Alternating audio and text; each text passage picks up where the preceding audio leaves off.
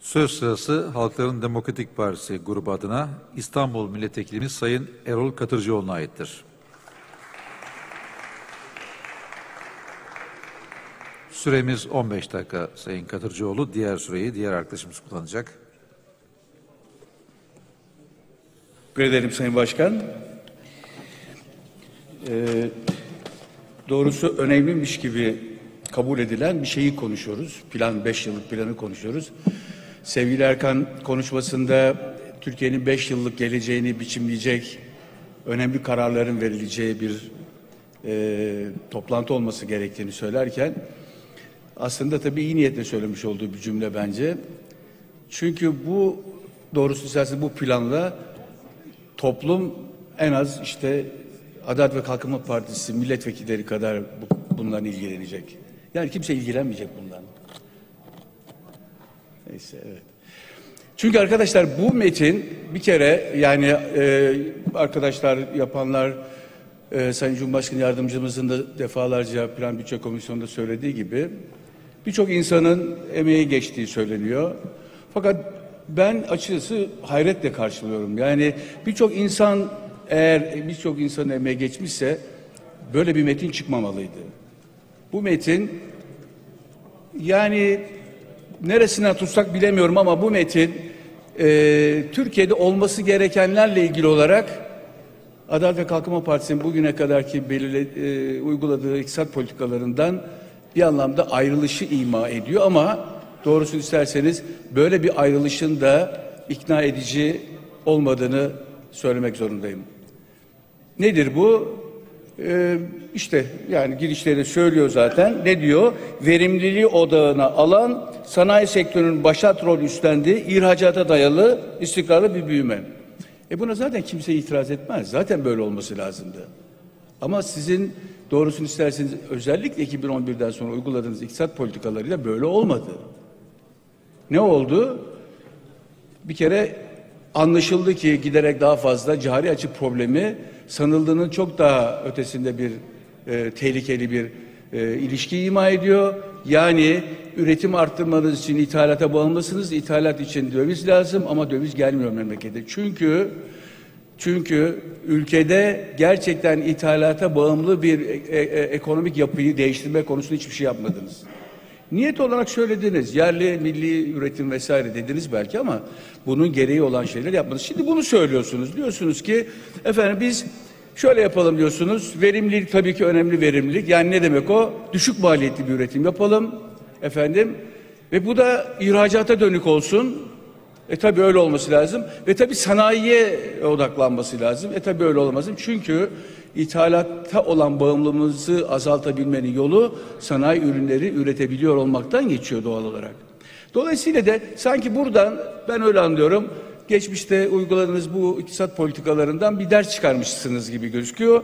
Ama e, bu iyi bir gelişme belki. Fakat bunu nasıl sağlayacağınızla ilgili yazdığınız cümleler hakikaten şaşkınlık verici. Yani bir tanesi demin gözüme çarptı. Mesela şöyle bir cümle var. Özel sektör yatırımlarının arttırılması için yatırım ortamının iyileştirilmesinin yanı sıra farklı destek mekanizmaları hayata geçirilecektir. Ne demek bu Allah size? Farklı destek politikaları. Ki nedir bunlar? Yani bir planda böyle bir cümle olur mu? İnanın size e, her paragrafa bir sayı konmuş burada. Bu şimdi okuduğum ve anlamı kendinden menkul çok sayıda paragraf var. Efendim ben vaktimi vaktimiz sınırlı üzerinden giderek biraz e, söylemek istediklerimi sizlere söylemek istiyorum. Şimdi bir kere gerçekten Adalet ve Kalkınma Partisi'ndeki arkadaşlar e, buna gönülden inanıyorlar. Onu da anlıyorum. Efendim bizim dönemimizde müthiş bir gelir dağılımı, ya pardon, e, gelir artışı gerçekleştirdiğini söylüyorsunuz. Efendim 3, 3 bin dolarlardan 10 bin, 12 bin dolarlara getirdik diyorsunuz. Bundan da çok övünüyorsunuz. Sayın Cumhurbaşkanı da bunu sık sık söylemek e, söylemekten memnun oluyor anlaşılan. Fakat arkadaşlar iyi de bu dönemde başkaları ne yapmıştı hiç sormuyorsunuz. Yani bakın ben size yani kabaca göz bir notum var. 2002'de mesela Rusya 2375 dolar kişi başına geliri varmış. 2017'de 10.743 dolara gelmiş. Bizim o sırada 10.547 2017 rakamı. Yani Rusya bizden daha iyi. Veya alalım e, mesela e, Romanya hani komşumuz Romanya 2125 dolarmış 2002'de arkadaşlar 2017'de 10.814 dolara gelmiş. Yani evet biz yürümüşüz doğru ama ötekiler koşmuş. Daha başka rakamlar da var da vaktimi harcamak istemiyorum. Bunları da zaten daha önce de çeşitli vesilelerle sizlerle paylaşmak istedim bu düşünceleri. Yani şunu söylemek istiyorum. Öyle inanılmaz bir başarı yok arkadaş. Öyle bir öykü yok yani. Keşke olsaydı. Ama gerçekçi olarak rakamlara baktığımızda biz böyle bir şey görmüyoruz. Şimdi gelelim planın amaçları, hedeflerine gelelim. Mesela hedefler yine konuşuldu. Ee, 1 trilyon 80 milyon milyar e, gayri safi milli hasıla hedefleniyor. 12.484 kişi başına milli gelir dolar e, hedefleniyor. Hani ben bunun daha önce 2023 hedeflerinizde uydu uymadı, işte o zamanlar şöyle diyordunuz, şimdi böyle oldu falan bu tartışmaları geçelim. Ama arkadaşlar bu bu hedefler nereye düşüyor? Bakın ben size yine bir, şey- birkaç rakam söyleyeceğim. 12.484 doları biz 2023'te elde edeceğiz öyle mi? Program öyle. Şimdi ben e, okuyayım şuradan mesela Hırvatistan, Macaristan, Polonya, Romanya şu anda yani 2018 yılında onların kişi başına milli gelirleri 12.484 doların üstünde. Yani biz 5 yıl sonra dö- 12.484 dolar elde edeceğiz. Ama şu anda Avrupa'da birçok ülke bizden çok daha yüksek bir milli gelire sahip durumda. Dolayısıyla sizin hedefinizin kıymet harbiyesi nedir? Ya da bu nasıl bir başarı öyküsü yazacak? Veya başka bir rakama geçelim. Mesela gayri safi milli hasıla 1 trilyon 80 milyar diyorsunuz. Ben şöyle bir baktım istatistiklere. İlginçtir. Bir dakika. 2023 yılında biz 1 trilyon 80 milyar e, dolar kazanırken bakın Vietnam, Bangladeş, Filipinler, Malezya, Tayvan, Avustralya, Tayland bu ülkelerin hepsi bizim çok daha öte, öte, ötemizde yani mesela ne bileyim Tayvan on, e, 1 trilyon 498 milyar dolar elde edecek 2023'te. Biz 1 milyar. Yani e, hedefleri itibariyle de baktığımızda e, düşünmemiz gereken ve de buradan bir başarı e, e, hedefi e, ortaya koymaktan doğrusunu isterseniz e, anlamlı gelmiyor bana. Şimdi yine e, konularına geçeceğim. Gerçi bunları Plan Bütçe Komisyonu'nda çokça konuştuk ama şimdi peki bu hedefe nasıl ulaşacağız diye sorduğumuzda bakın şöyle diyorsunuz. Diyorsunuz ki kurallı tam rekabetçi serbest piyasanın gelişimi desteklenecektir diyorsunuz. Kurallı tam rekabetçi piyasa sistemi. Şimdi arkadaşlar yine geçen gün burada konuşurken söyledim. Özellikle 2008 krizinden sonra bu tam rekabetçi piyasa modeli artık e, sorgulanıyor ve terk ediliyor.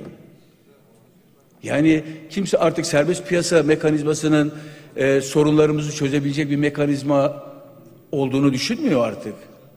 Aksine başka yollar, başka yöntemler bulmak gerektiğini konuşuyor. Ama siz bu üstelik 2023'e kadar bizi bağlayacak hani lafı güzaf belki ama olduğunu söylediğiniz bir metinde diyorsunuz ki biz tam rekabetçi, kurallı serbest piyasa ekonomisiyle bağlıyız ve öyle götüreceğiz. Halbuki bağlı da değilsiniz arkadaşlar. Yani işin ilginç tarafı da bu. Bir yandan bağlıyız diyorsunuz ama yani birçok gözlemle bunun böyle olmadığını biliyoruz.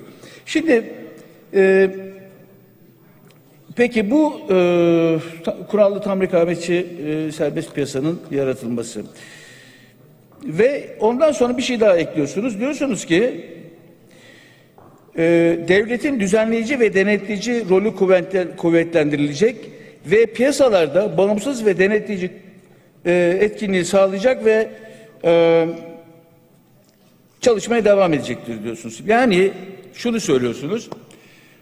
Piyasa ekonomisi biliyorsunuz çeşitli kurumlarla birlikte var oluyor. Bunların en önemlisi de üst kurullar dediğimiz veya bağımsız kurullar dediğimiz kurullar. Ve bunlar uzun zamandan beri Türkiye'nin hani e, kavga dövüş yarattığı kurumlar bunlar.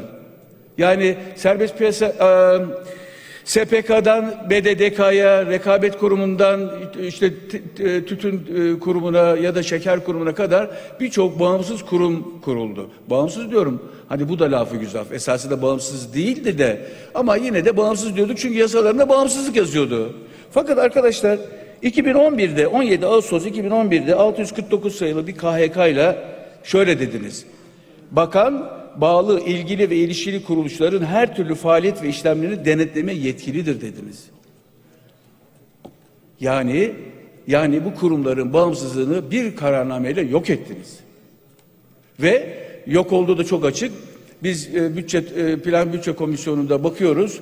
E, mesela Ticaret Bakanı bütçesini konuşuyor. Arkasında Serbi, e, Rekabet Kurumu Başkanı oturuyor. E ne ilginiz var sizin orada dedim. Yani rekabet kurum başkanı olarak orada oturmamanız lazım. Çünkü siz kural olarak bağımsız bir kurulsunuz bir kere. Ama öyle değil. Onlar bağımlılar ve herkese biliyor ki onlar bağımlılar. Dolayısıyla da arkadaşlar yani bunları hakikaten anlamakta da zorlanıyorum. Çünkü bunları böyle yazıyorsunuz ama bunların böyle olmadığını da bilerek yazıyorsunuz. Yani bilmemeniz mümkün mü? Ben biliyorum. Siz icraatın içindesiniz. Nasıl bilmeyeceksiniz? Mesela diyorsunuz ki yurt dışı tasarruflar artırılacak. Tabii ki çok iyi olur. Yurt dışı tasarrufları yurt içi tasarrufları niye arttıracağız? Çünkü yurt içi tasarruflar arttırırsak ithalata dövize ihtiyacımız azalır. Yatırımlarımızı kendi kaynaklarımızla destekleriz. Doğru. Çok güzel bir hedef. Bir türlü beceremediğiniz bir şey bu. Fakat arkadaşlar şunu atlıyorsunuz. Ya, yani ben onu da anlamakta zorlanıyorum.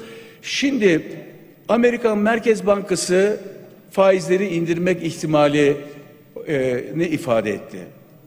Bir. İkincisi Sayın Cumhurbaşkanımızın inancı mı artık bilemiyorum ama bir, bir, bir şekilde e, ikna edilmiş olduğunu anlıyorum. Faizlerin düşürülmesi lazım geldiğini söylüyor. Arkadaşlar faizler düşerken yurt içi tasarruflar artmaz.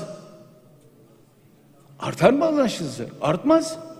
İktisadi davranışa aykırı bir şey bu. Efendim toplumsal mutabakatın oluşturulmasından söz ediyorsunuz paragraf 196'da. Yani güzel bir niyet olarak.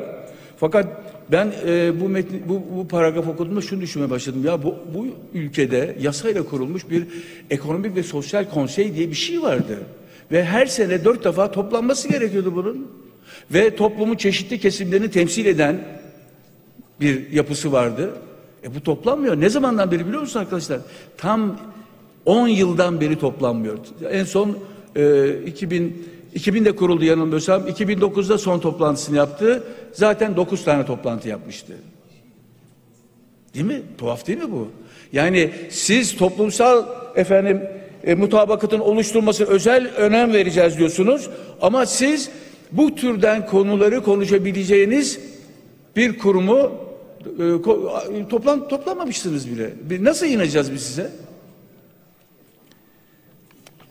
Efendim diyor ki bir yerde 212'de e, diyorsunuz ki şöyle tabi şöyle ifade edeyim önceden gelir dağılımı problemi bütün dünyayı yakan bir problem.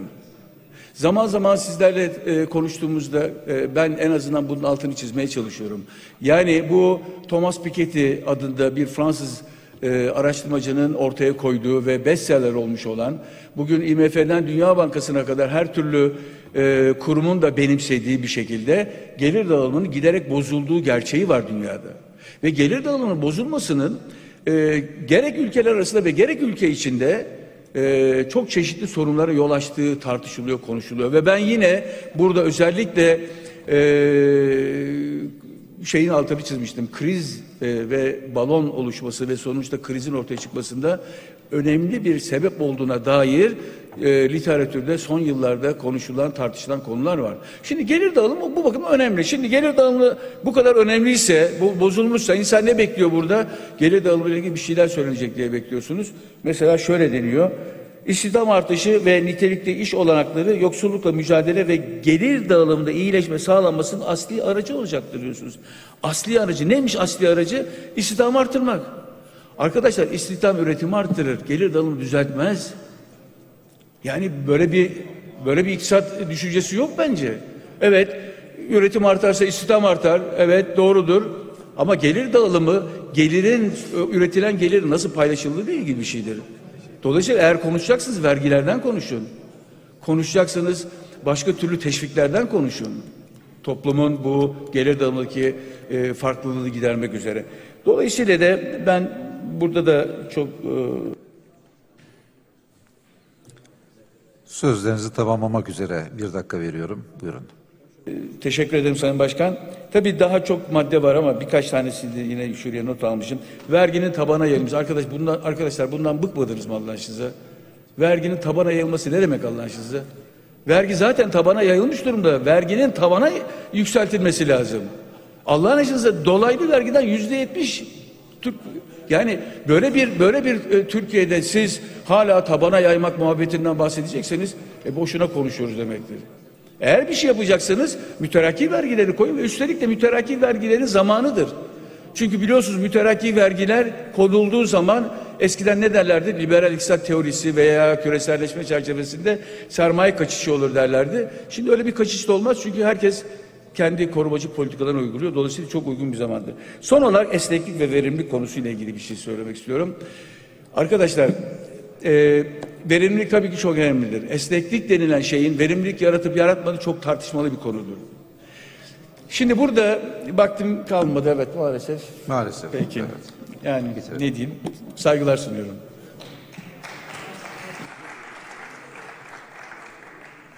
Değerli milletvekilleri aslında süre konusunda diğer e, birleşimlerle biliyorsunuz ben arkadaşlarımızın söz taleplerini her zaman geniş bir şekilde yerine getirmeye çalışıyorum ama burada arkadaşlarımızın her birinin son derece makul süreleri var. 10 dakika, 15 dakika, 20 dakika, 30 dakika gibi ve konuşan arkadaşlarımızın tümü de son derece tecrübeli ve ehliyetli arkadaşlarımız. Herkesin konuşmalarını ben süresinde bitireceğine e, inanıyorum ve ayrıca e, süre uzatmanın da yoğun konuşma talepleri çerçevesinde e, bu işlemleri tamamlamamızı geciktireceğini biliyorum. O yüzden bugüne mahsus olmak üzere e, tahsis edilen sürelerin sonuna bir dakikayla ilave etmeyi uygun bulduk. Sabahtan beri de bunu uyguluyorum.